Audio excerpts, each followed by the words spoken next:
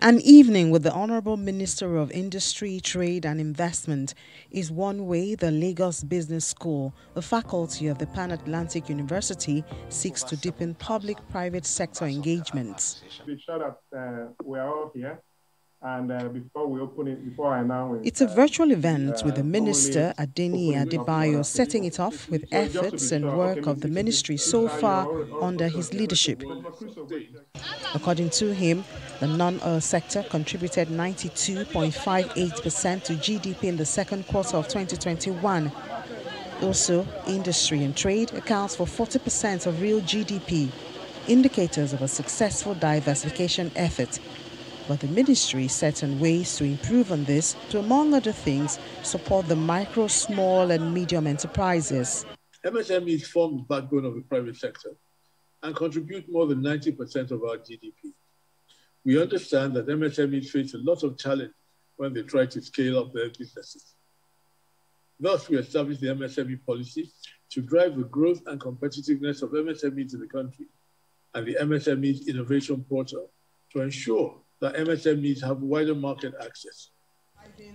A representative of the Micro, Small and Medium Enterprises Chief Executive of Kachi Company Limited, Mrs. Ketisa, is given the opportunity to share some areas of challenge and not surprisingly, availability and access to foreign exchange is on the fore. Yes, the statistics you have thrown out are commendable. However, the reality is that when a business cannot find the raw material to produce, the, the, they can't find the foreign exchange to purchase uh, the raw material to, to manufacture, to produce their products, they lay off workers, they, they shut down their uh, manufacturing uh, plants. Uh, the minister, however, has reassuring words on the challenge. We realize that uh, a large portion of foreign exchange that this country has is from the oil, uh, oil and gas sector.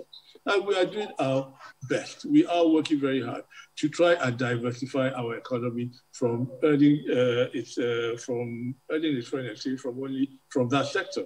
We are trying to diversify the sector, and I have been in discussions with many manufacturers. Uh, we are looking at the various areas, especially the areas where we have comparative advantage. For instance, one area, one such area is in the area of cement.